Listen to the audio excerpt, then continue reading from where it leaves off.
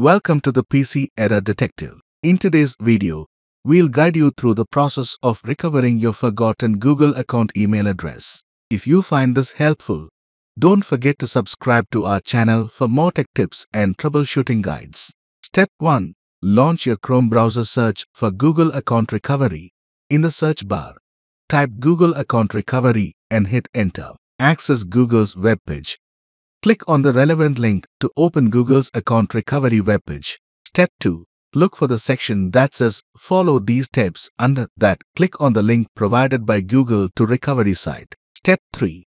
You'll be prompted to enter either your phone number or email associated with your Google account. Click Next.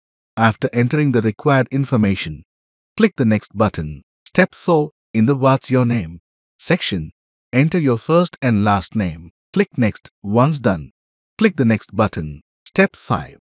Google will send a verification code to your provided email or phone. Click on the Send button to receive the code. Step 6. Enter the received verification code. Click Next. Finally, click the Next button to complete the process. That's how you can recover your forgotten Google account email easily. And that's it. Thanks for watching and stay tuned for more videos.